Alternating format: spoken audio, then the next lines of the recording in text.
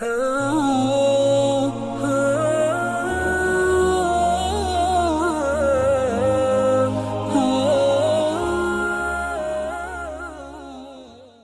বলে দিলেন, আমি মানুষ, দুনিয়ার জমিনে বানাবো, একজন প্রতিনিধি বানাবো। আল্লাহ বললেন, রব্বুল আলামিন, মানুষ তোমাদের প্রয়োজন হয়ে গেল। নাহনু ونقدس لك رب العالمين আমরা তোমার প্রশংসা করতেছি আমরা তোমার তারিফ করতেছি আমরা তোমার পবিত্রতা বয়ান করতেছি আল্লাহ মানুষ বানানোর কিসের জরুরত তোমার হয়ে গেল আল্লাহ রাব্বুল আলামিন ফেরেশতাদের জবাবে বলে দিলেন আমি যা জানি তোমরা তা জানো না আল্লাহ রাব্বুল আলামিন হযরত জিবরাইল আলাইহিস সালাতু ওয়াস সালাম হুকুম দিয়ে দিলেন জিবরাইল চলে যাও চলে যাও। দুনিয়ার জমিন থেকে তুমি মাটি নিয়ে আসো। হযরত জিবরাইল আমিন আলাইহিস সালাতু সালাম দুনিয়ার জমিনের মাঝখানে যখন মাটি নেওয়ার জন্য জিবরাইলের হাতটা যখন দুনিয়ার জমিনে রাখলেন, বন্ধু সকল, মাটি ক্রন্দন করা শুরু করে আল্লাহ, এই মাটি দিয়ে আমি তো আল্লাহ তুমি আদম বানাবে না। এমনি করতে তো শর্ট করে আনছি, বন্ধু, সংকীর্ণ রাত অনেক হয়ে গেছে। তিনটা ফেরেস্তা চলে গেলেন শেষ পর্যন্ত। আল্লাহ রব্বুল আলামিন আজরাইলকে দেখতে দিলেন, আজরাইল, তুমি চলে যাও চলে যাও। দুনিয়ার জমিন থেকে তুমি মাটি নিয়ে আসো।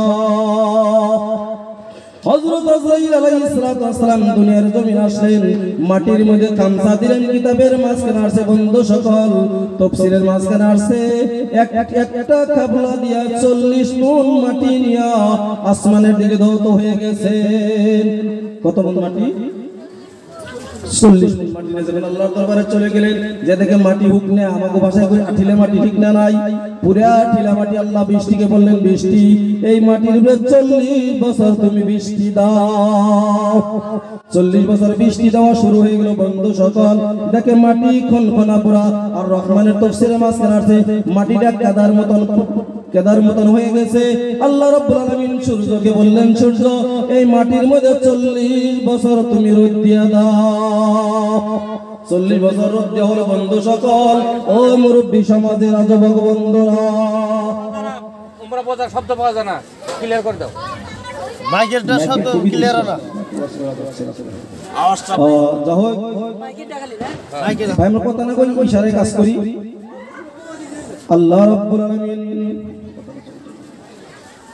ভাই, চল্লিশ বছর যখন রৌদ্র দিয়ে মাটিটা কিছু ভুনা ভুনা হয়ে গেল, আল্লাহ রাব্বুল আলামিন আলামিন, হযরত জিবরাইল আমিন আলাইহিস সালাতু ওয়াস সালাম হুকুম দিলেন, জিবরাইল, আদম তুমি শুরু করে দাও, আদম প্রস্তুতি শুরু করে দাও। একজন ফেরেশতা, একজন ছিল বন্ধু, সকল নাম ছিল তার আজাজিল। আমাকে ভাষায় বলে ঠিক না নাই। এ ছিল জিন্নাত? আমাকে আগে ছিল দুনিয়ার জমিনে। কে ছিল দাদা? জিন্নাত ছিল না নাই। এই জিন্নাত দুনিয়ার জমিনে বসবাস করতো বন্ধ। জিন্নাতের একটা বাচ্চা ছিল, লম্বা চুরে কাহিনী। এটা হলো মুআল্লিমুল মালাইকা ফেরেশতাগুলোর সর্দার। এই জিন্নাতের এই জিন্নাতের বাচ্চাটা মুআল্লামু, মুআল্লিমুল মালাইকা। মানে ফেরেশতাগুলোর সর্দার হয়ে গেলেন। 6 লক্ষ বছর ইবাদত করছে। কত লক্ষ বছর? ছয় লক্ষ বছর ইবাদত করছে। বন্ধু সকল আদম বানানো হয়ে গেল কণ্ঠনালী পর্যন্ত। হজরত জিব্রাইল যে বলেন, আল্লাহ, আদম বানাইয়া ফেলছি আল্লাহ। কোথানি বানাইছে বলে কণ্ঠনালী গোলা তোমরা বানাইছি। রব্বুল আলামিন মাথা কি বানাবো, মুখ কি বানাবো, কপাল কি বানাবো, চোখ কি বানাবো, নাক কি বানাবো? আল্লাহ, মুখ কীভাবে বানাবো আমরা পাচ্ছি পারছি না।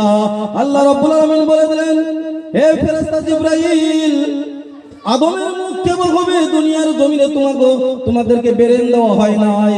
কারণ আদমের আদমের সুরতরা আমি আল্লাহ নিজ কুদরতি হাতে বানাবো বলেন সুবহানাল্লাহ। ওয়া খালাকতু বিয়াদাইয়া। আল্লাহ বলেন, দুনিয়ার মানুষ, আমি কুদরতি হাত দিয়ে তোমার মুখমণ্ডল তোমার মাথাটা বানাইয়া দিলাম। আল্লাহ আদমের মুখমণ্ডল বানানো হয়ে গেল বন্ধু সকল। এই ফেরেশতাকে সম্মুখে আল্লাহ রাব্বুল আলামিন সমস্ত বস্তুর নাম শিখিয়ে দিলেন। আদম আলাইহিস সালাতু ওয়াসসালামকে আদম আলাইহিস সালাতু ওয়াসসালাম সমস্ত বস্তুর নাম মুখস্থ করে ফেললেন। এই সমস্ত বস্তু ফেরেশতা ফেরেশতাদের সম্মুখে ধরলেন যে, ফেরেশতা, তোমরা বলো বলো ক্বালু সুবহানাকা লা ইলমা লানা। রব্বুল আলামিন, তুমি পবিত্র, আমাদের কোনো ইলম নাই। ইল্লা মা আল্লামতানা। আল্লাহ, তুমি যা কিছু শিখিয়েছো তার বাইরে আমাদের কোনো নলেজ নাই। আমাদের নো নলেজ আল্লাহ, তুমি যা কিছু ইলম দিয়েছ তার বাইরে আমরা কোনো কিছু জানি না। সমস্ত বস্তুর নাম কি? আমরা জানি দিছো বাইরে আমাদের নো নলেজ আমাদের কোনো নলেজ নেই আল্লাহ। আল্লাহ রাব্বুল আলামিন আদমকে বলে, আদম, তুমি কও। আল্লাহ আদম আলাইহিস সালাম পটপটিয়া মুখস্থ বলে ফেললেন ফেরেশতাদের সম্মুখে। বন্ধু সকল, লম্বা সরে কাহিনী, শর্ট করে আনছি, সময় সংকীর্ণতা দ্বারা আল্লাহ রাব্বুল আলামিন বললেন, আদম যদি সমস্ত বস্তু মুখস্থ তোমাদের সম্মুখে বলে দিল, তোমরা একটা কাম করো। ওই যে, কুল্লা লিল মালাইকা মালাইকা তিসজুদু, তোমরা একটা কাজ করো। আমার আদমকে তোমরা একটা সেজদা দিয়ে দাও। ফাসাজাদু বন্ধু সকল, সমস্ত ফেরেশতারা সেজদায় পড়ে গেলে বন্ধু সকল, ইল্লা ইবলিস কিন্তু মিস্টার ইবলিস সাজদা করল না। আল্লাহ রাব্বুল আলামিন বলল, মা মানাকা আল্লাহ তাসজুদা ইজ আমারতু কিস বাত নে তুসকো দিয়া, তোমার কোন কথাই রেখে দিল তুমি সাজদা করলা না। কারণটা কি কি কারণে তুমি সাজদা করলা না? সেই দিন শয়তানে বলছিল, বন্ধু সকল ক্বালা আনা খায়রুন খালাকতানি মিন নার ওয়া খালাকতাহু মিন তিন। রব্বুল আলামিন আমার তুমি বানাইছো আগুন দিয়া। আগুনের বৈশিষ্ট্য হলো তলে ধরে উপর দিকে যায় ঠিক না নাই? আগুন নিচে ধরে উপর দিকে যায় না? কথা বল নাকি লেগে ঘুমাইছিল নাকি? খারাপ পাচ্ছেন বাদ দিন নাকি? আগুন কয়লা আগুন দেবে না তুমি। আগুন নিচে দাঁড়াইলে উপর দিকে ধাউতি করে। আর মাটি ও খালাকতাহু মিন তিন। তিন মানে মাটি। আল্লাহ, তুমি আদমকে মাটি দিয়ে বানাইছ। মাটি উপর দিকে দিলে পরে মাটি নিচের দিকে চলে আসে। যেটা উপরে থাকে এটা কখনো সাজদা করতে পারে না আদমকে। আল্লাহ রাব্বুল আলামিন বলেছেন ফখরুজ তু নিকাল যা তু বাড়ি হয়ে যা কয় লক্ষ বছর ইবাদত করছেন বন্ধু সকল? কয় লক্ষ বছর? ছয় লক্ষ বছর ইবাদত করছেন আল্লাহ। একটা হুকুম না মানার কারণে ছয় লক্ষ বছর ইবাদত আল্লাহ রাব্বুল আলামিন পণ্ড করে দিলেন। আল্লাহ রাব্বুল আলামিন বাতিল করে দিলেন, বন্ধ। ছয় লক্ষ ছয় লক্ষ বছরে। একটা হুকুম না মানার কারণে ছয় লক্ষ বছর আমল আল্লাহ বাতিল করে দিছে। চিন্তা করছ আর দিন রাইতে চল্লিশটা সেজদা কোন সুবাহান আল্লাহ কোন সুবাহান আল্লাহ দিন রাইতে সেজদা কয়টা ফরজ? কয়টা সেজদা ফরজ? চল্লিশটা পাঁচক্য নামাজ হইল চৌত্রিশটা, আর বেতেরের নামাজ হলো ছয়টা। তাহলে কয়টা হইল? চল্লিশটা সেজদা ফজরের থেকে এসা পর্যন্ত আমার আপনার ফরজ। একটা সেজদা না করার কারণে ছয় লক্ষ বছর ইবাদত শেষ হয়ে গেছে। একটু কথা কম বলা দাদা। ছয় লক্ষ একটা সেজদা না করার কারণে ছয় লক্ষ বছর ইবাদত শেষ। আমার আপনার জিন্দিগিতে ফজরের থেকে এসা পর্যন্ত চল্লিশটা সেজদা ফরজ ওই দিন পড়ছি চিন্তা করি? কথা কই নাকি লেগে কয়দিন পড়ছি? তাহলে আমার আপনার অবস্থা কি হইতে পারে, বন্ধু সকল? আমরা খালি চালাক, বন্ধু সকল। ঠিক না না আমরা খালি চালাকি করি, বন্ধু সকল। একজন আল্লাহর ওলি ছিল বন্ধু সকল, একবারে গরিব মানুষ ছিল বন্ধু। আমরা সেলন চিনি না, সেলন। সেলন চিনি না চুল কাট পাওয়া যায় এই চুল যারা সেলন, বর্তমান তো হেয়ার কাটিং চুল আছে, হেয়ার স্টাইল ঠিক না? সেলনের মাঝখানে লেখা আছে, হেয়ার স্টাইল হানিসিং কাটিং প্রত্যেকটা ফ্যামিলির কাছে আছে না ভাই? প্রত্যেকটা ফ্যামিলি মাঝখানে ছেলেদের কাছে। এই ছেলের মায়ে, এই সেলুনে একটা শিক্ষিত মানুষ চুল কাটবার জন্য গেছে। কি মানুষ? শিক্ষিত মানুষ চুল কাটবার জন্য গেছে। যখন চুল কাটবার জন্য শিক্ষিত মানুষ গেছে যে কয় স্যার, আজকে শিক্ষিত আর না তো শিক্ষা শিক্ষিত মানুষগুলো, হয়। কয় আজকে আমি একটা খেলা দেখাবো কয় এই পাঁচ টাকার নোট আর এই এক টাকার নোট। এই দুইটাতে আপনাকে একটা খেলা দেখাবো কি খেলা? কয় এই জায়গার মধ্যে একটা ছেলে আছে, সাত বছরের বয়স, কিন্তু ছেলেটা দুর্বল, আমাকে ভাষায় কয় দুর্বল। কীরকম আসলে দুর্বল। এই পাঁচ টাকার নোট আর এক টাকার নোট, কিন্তু এই ছেলেটা পাঁচ টাকার নোট নিব না, দেখো, এক টাকার নোট নিব। এক টাকার নোট স্যারের মাথা গরম হয়ে গেছে টেনশন হয়ে গেছে, চুল গেছে আরাম ভালো হয়ে গেছে, বন্ধ। কয়, হায় পাঁচ টাকার নোট দেখলে সবাই ঠিক না নাই? দশ টাকা কম না বর্তমানের জমানায়। চুল খারিয়ে গেছে। আর ভাই কাটার সুবিধা হয়েছে ঠিক না পানি দিয়ে চুল কাটার সুবিধা হয়েছে বন্ধু সকল এই পিচ্ছি ছেলে আসো এই ছোট এদিকে আসো ওই ভাইজান আইসা কয় পাঁচ টাকা এখানে? এক টাকা তুমি কোনটা নিবা। এক টাকা নিয়ে দৌড়ে চলে গেছে বন্ধু সকল। কয়, স্যার, দেখছেন কত পূর্ব? পাঁচ টাকাও দেখাইছি, এক টাকাও দেখাইছি। কিন্তু বন্ধু, ও স্যার, এক টাকা নিয়ে গেল, পাঁচ টাকা নিল না। স্যারের টেনশন উঠে গেছে, হায় হায়। কীরকম পোলাকানে এক টাকা কিসের কারণে নিল, পাঁচ টাকা কেন নিল না? স্যারের টেনশন স্যার চুকুর কেটে যখন বাইরে গেছে বুঝা এদিকে আসো। তুমি ওখানে পাঁচ টাকা দেখলা, এক টাকাও দেখলা তুমি। এক টাকা কিসের লেগে আল্লাহ? কয়, স্যার, আপনি বুঝবেন না, আমি পাঁচ টাকাও চিনি, এক টাকাও চিনি। বন্ধু, সকল আমি পাঁচ টাকাও চিনি গো স্যার, আমি এক টাকাও চিনি কিন্তু তিনটা মাস ধরে ছেলে নেলে ভাই, এক টাকার, পাঁচ টাকার খেলা শুরু করছে। যেদিন আমি পাঁচ টাকা নিয়ে যাব, সেদিন আমাকে চালাক বিনা ঘোষণা করে দিবে। এই সেলুনেলা ভাই আর কোনোদিন এক টাকার পাঁচ টাকার খেলা দিবে না। এক টাকা করতে করতে আমি তিন মাসে নব্বই টাকা নিয়ে ফেলছি বন্ধ। আমরা খালি চালা গ্রহণ করুন না, বুড়া হয়ে যায় ঠিক নাই। অন্ত বুড়া হওয়ার আগেই মানুষ দুনিয়ার জমিন থেকে বিদায় হয়ে যায়। বাহালুল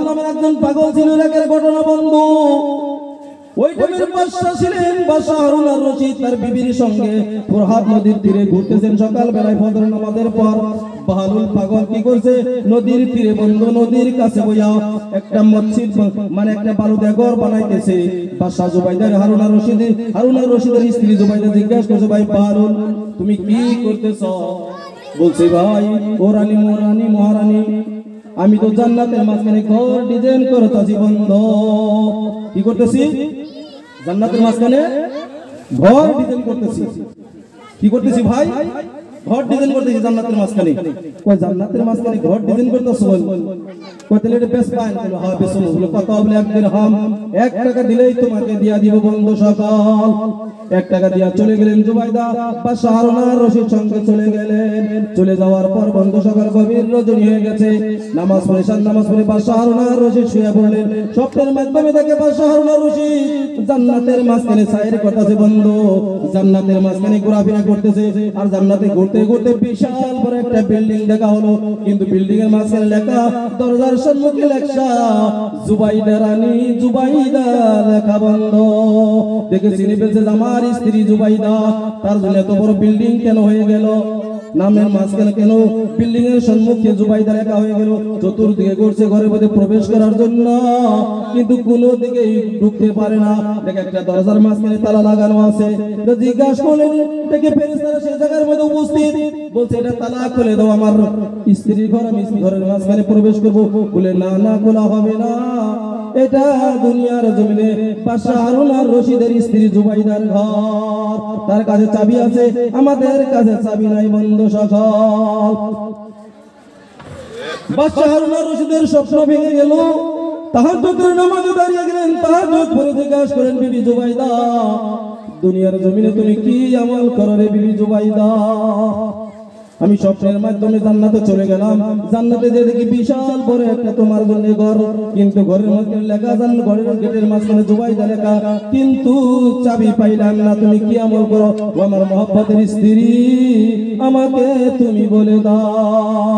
পয়সা নিগো আমার তো এরকম ধরনের কোনো আমল নাই চিন্তা করতে করতে বলে না। যোগাকাল সকালে আমি বারুলের কাছে বলে জান্নাতের একটি ঘর কিনে আনলাম সেইটাই বুঝি হইতে পারে। সকালবেলা হয়ে গেল বন্ধু যখন নদীর নদীর ধারে করতে গেলেন বন্ধু সকল, ঘুরতে গেলেন বাহারুন নামের পাগলটা আবার জান্নাত ডিজাইন করতেছে। বাদশাহ হারুন আর রশিদ বলছে এ বাস ভাই ভাই বাহারুন আজকে তোমার জান্নাতটা বেসবর বেচতে পারি। বলে কীরকম টাকা নিবা? যে ইরাকের আধা বাদশাহী আমার নামে লিখে দিতে হবে। কয়টা কেমন কথা বলো? কালকে মারি আমার স্ত্রীকে তুমি এক দেড়খানে দিয়ে দিলা। আমার স্ত্রীকে তুমি এক টাকায় দিয়ে দিলা। আর আজকে তুমি ইরাকের আদা বাদশাহী, তুমি চাও তুমি কীরকম করিতে চাইতে পারো? কয় বাদশাহ হারুনার রশিদ। তুমি কালকে তোমার বিবি কিনছিল না দেখে। আর আজকে তুমি দেখে আসছো। আজকে তুমি দেখে আসছো রে বাদশাহ। সেজন্য আজকে ইরাকের সম্পত্তি দিতে হবে বন্ধু সকল। আজকে আমরা আল্লাহরে কোনোদিন দেখছি নাকি বন্ধু সকল? আল্লাহর নবীরেও দেখি নাই বন্ধু? হাদিসের মাঝখানে আসছে, আয় ওই মাঝখানে আল্লাহর নবী মক্কার জমিনের ঘটনা বন্ধু সকল। একটা মানুষ আবু জাহেলের কিছু টাকা পায়, আবু জাহেলের কাছে কিছু টাকা পায়। কিন্তু আবু সুফিয়ানের কাছে যা বলে উবাই ইবনে খলবের কাছে যা বলে কই ভাইজান কিছু আবু জেল আমার কাছে করে কিছু টাকা কর্জ ছিল, কিন্তু আবু জেলের বুকার আমি বিরতে পারি না, আমার টাকা দেয় না। আবু লাহাবের কাছে যা বলছে, আমার টাকা দেয় না, তোমরা আমার টাকা উঠিয়ে দাও। আবু লাহাব, উবাই বিন খল আর আবু সুফিয়ান বলতেছেন আমরা আবু আবু জেলের কাছে কোনো তোমার টাকা উঠিয়ে দিতে পারব না। মক্কার একজন বালক আছে। তিনাকে যদি তুমি বলো, তাহলে তোমার টাকা উঠিয়ে দিতে পারে। বলে কেউ যে মোহাম্মদ নামের যুবক ছেলে, তার কাছে তুমি চলে যাও। ওই লোকটা ছেলে না বন্ধু সকল। ওই উৎবা সাহিবা আবুল আহাব ইয়ার আবু জেহেল আবু দিলেন বিশ্ব নবী।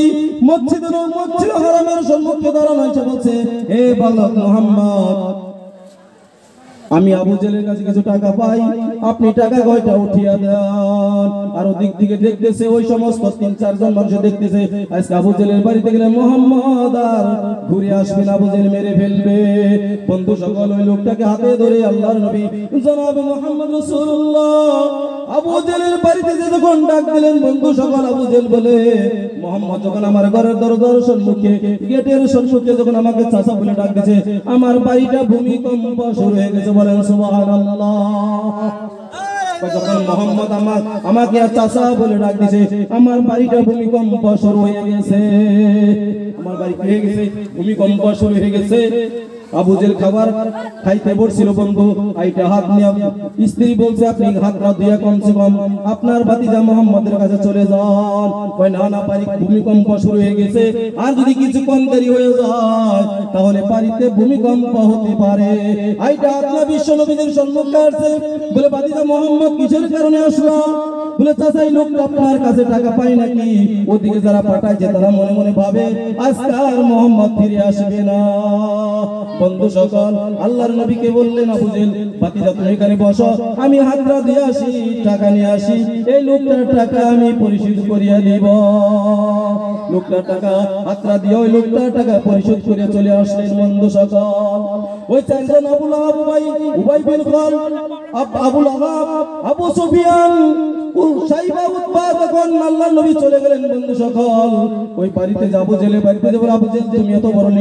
আজকে কেন তুমি মোহাম্মদের সম্মুখে নেতা নেতাগিরি তোমার ছুটে গেল। কেন তুমি ছোট হয়ে গেল?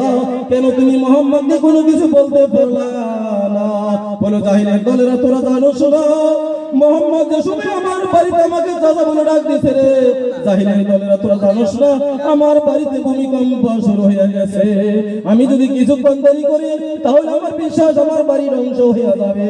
সেই জন্য আমি আইটা হাত নিয়ে আমার বাড়িতে মোহাম্মদের সম্মুখে আমি হাজির হয়ে গেলাম। তুমি কেন টাকা দিলে না? কতদিন বলছিলাম, এই লোকটা টাকা দেওয়ার জন্য কেন তুমি টাকা দিলে না? আজকে কেন তুমি টাকা দিলা?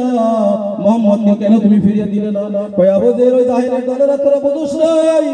আমি মোহাম্মদকে কিছু কিছু বলার আগে মোহাম্মদের পায়ের নিচে থেকে আমার মাথার পর্যন্ত একটা সব বিশাল বড় করে দাঁড়িয়ে আছে। আমি যদি কোনো কিছু বলি, আমার বিশ্বাস হবে আমাকে খেয়ে ফেলবে বন্ধু সকাল সেই জন্য আমি মোহাম্মদকে আজকে এমন সময় কিছুই বলতে পারলাম না। সেই নবীর উম্মত বন্ধু সকল আল্লাহর একজন অলি ছিল, গরিব মানুষ শেষ করে আনছি। বক্তা স্টেজে চলে গেছে, বন্ধু, আমি শেষ করে আনছি। আরেকটা কাহিনী বন্ধু সকল আল্লাহর একজন অলি ছিল, একবারে গরিব মানুষ বন্ধ। আহলে দিলকে তড়পায়ে দেনে ওয়ালা এক ওয়াকায়াতের মাঝখানে ঘটনার লেখা আছে। বিবি আর বাচ্চা ঘরে কোনো ছেলে সন্তান নাই আর বিবি আর স্বামী ঘরের মাঝখানে দুইজনই আছে বন্ধু সকল। সকালবেলা যখন স্বামী বাইরে হয়ে যায় আগে আমাকে কৃষক মনে হাল বাই তো ঠিক না নাই? হাল বাই তো না গো। স্বামী হাল নিয়ে যাইতেছে কয় আমরা একটু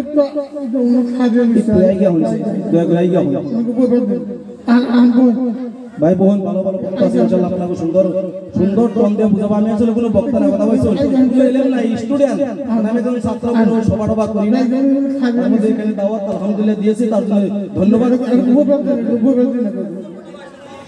কষ্ট করে এটা কষ্ট করে আল্লাহুম্মা জিকির করে আল্লাহুম্মা সাল্লি আলা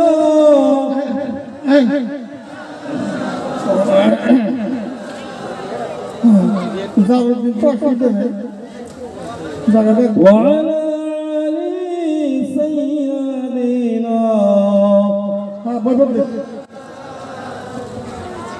ভাই বুজুর্গ দোস্ত স্বামী যখন সকালবেলা বাইর হয়ে যায় কিছু কামাই করার জন্য হাল যখন বাইরে হয়ে গেলে বন্ধ সকল, স্ত্রী বলে, স্বামী গো, আজকে তো সকালে রান্নার কোনো ব্যবস্থা নাই গো স্বামী।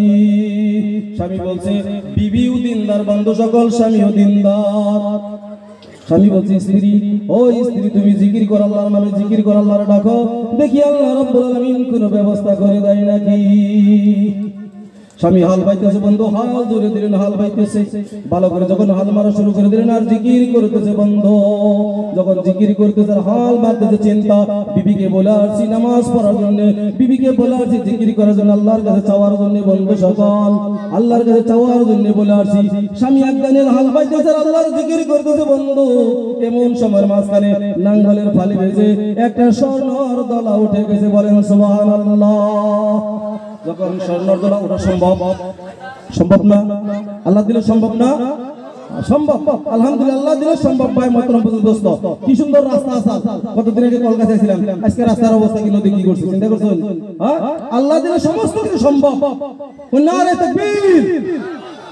ভাই হ্যাঁ?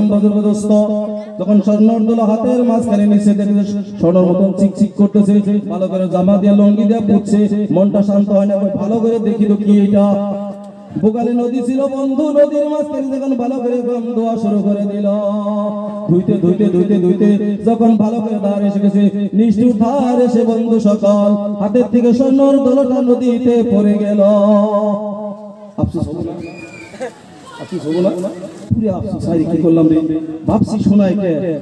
শোনার দলা, ভাবছি শোনার দলা এটা তো বহুতই এই আফসোস নিয়ে বাড়িতে বিবি জিজ্ঞাসা করছে, তোর স্বামী কোনো ব্যবস্থা হয়েছে?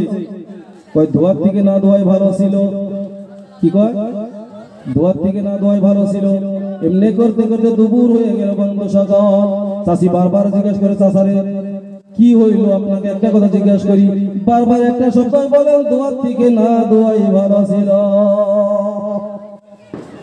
বড় চাষি হায় হায় আমার স্বামী কি ডাক্তার আনলো বন্ধু, গ্রামে ডাক্তার থাকে না নাই।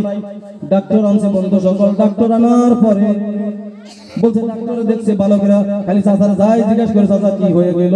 কয়, দোয়ার থেকে না দোয়াই ভালো ছিল। ডাক্তার স্যালন দিছে, কিছু ট্যাবলেট দিছে। এমনি করতে করতে আঠারোশো টাকা বিল হয়ে গেছে। চাষিকে বলছে, চাষি, আঠারোশো টাকা বিল হয়ে গেছে, টাকা দেন। চাষি বলে, খাবার নাই, টাকা তোমার, কালকে দিমু, গয়না বেঁচে কালকে সকালে তুমি আসবা। কালকে সকালে তুমি আইসো। কালকে সকালে তোমার টাকা দিয়ে দিব রাতে তোমার চাচার কি হাল হয়? বন্ধু গভীর রজনী হয়ে গেছে। চাচারে জিজ্ঞাসা করতেছে চাষি হায় হায় ছোট্টবেলায় আমাকে আপনার সঙ্গে বিয়া দিয়ে দিল কত দুনিয়ার গপ্প আমার সাথে বললেন, ভালোবাসার গপ্প করলেন। কত দুনিয়ার কথাই আমার কাছে আপনি শেয়ার করলেন, বললেন, আর সকালে ভালো মানুষ গেলেন, আপনার কি হয়ে গেল? আপনি কেন? খালি বলেন, দোয়ার থেকেই ভালো ছিল। চাচা বলে, স্ত্রী শুনবা নাকি? আমি আল্লাহর জিকিরি করা শুরু করে দিলাম। জিকিরি করতে করতে নাঙ্গলের ফলের মধ্যে একটা সোনার দরলা উঠে গেল, আমি লঙ্গি দিয়া মোজা শুরু করে দিলাম। মনে মানায় না। নদীতে নিয়ে দোয়া শুরু করে দিলাম। দিতে নিষ্ঠুর ধার এসে আমার হাতে করে সোনার দলটা যখন নদীতে পড়ে গেল, বহুত চেষ্টা করলাম স্ত্রী সেই জন্য আমার আফসোস হয়ে গেল। আর বারে বারে একটা শব্দ বলি দোয়া থেকে না দোয়াই ভালো ছিল। এটা কি আমি তো শোনার থেকে না শোনাই ভালো ছিল। চাষির আর শুরু হয়ে গেল। বন্ধু সকাল। রুগী কয়টা হয়ে গেল? রুগী কয়টা হয়ে গেল? দুইটা হইল না নাই? বন্ধু সকল, রুগী দুইটা হয়ে গেল। ওই ধোয়ার থেকে, সোনার থেকে না শোনাই ভালো ছিল। সকালবেলা ডাক্তার এসে, আয় কয় চাচি, খবর? কি? কয়, সোনার থেকে না শোনাই ভালো ছিল। বেজার ভাবছে রুগী থেকে গেলাম একটা এই রুগী দুইটা। রুগী থেকে গেলাম একটা, এই রুগী দুইটা। চাচা থেকে চাচা, খবর কি? স্যালন দিলাম, ট্যাবলেট দিলাম, বোতল দিলাম, আঠারোশো টাকা বিল উঠাইলাম। চাচা, খবর কি কয়? ধোয়ার থেকে না দোয়াই ভালো ছিল। চাষিরা জিজ্ঞাসা করে, চাষি, আপনার কি হয়ে গেল? ভালো মানুষ গেলাম আপনার কি হয়ে গেল? শোনার থেকে না শোনাই ভালো ছিল। সেদিন আফসোস করে দাম করে বলছিল, চাষি, ও চাষা থেকে আমার টাকা নগদি ভালো ছিল। কেমতের ময়দানে বন্ধু সকল, এই জানে মোলামা দেখতেছেন, আপনারা দেখতেছেন, আপনারা আপনারা খুব একটা পারব কেমতের ময়দানে সবেরই আফসোস করতে হবে বন্ধু, কেন আমরা সেজদা দুনিয়ার জমিনে দেই নাই? কেন নামাজ পড়ি নাই? আল্লাহর নবীকে সাহাবা জিজ্ঞাসা করল আই রায় আল্লাহর হাবিব, আল্লাহ রাব্বুল আলামিনের নিকট সবচাইতে আমল কি, কোনটা আমার ভালো আল্লাহর নবী বলেন, আসসালাতু আলা ওয়াক্তিহা সময় মতো তোমরা নামাজ দুনিয়ার জমিনে প্রতিষ্ঠা করবা। তারপরে বলছে, সুম্মা আইয়ু। তারপরে কি? আল্লাহর নবী বলেন, বিরুল ওয়ালিদাইনি। তারপরে হলো, তোমার মা বাবার সঙ্গে তুমি ভালো ব্যবহার করবা, বন্ধু সকল। আমাদের অঞ্চলে মা বাবার সঙ্গে ভালো ব্যবহার করনে বলা ইল্লা দুই একজন, তারপরে নাই, ঠিক না, নাই। আছে না, বন্ধু? আল্লাহ রাব্বুল আলামিন সূরা বনি ইসরাঈল পুরে 15 নম্বর পারার মধ্যে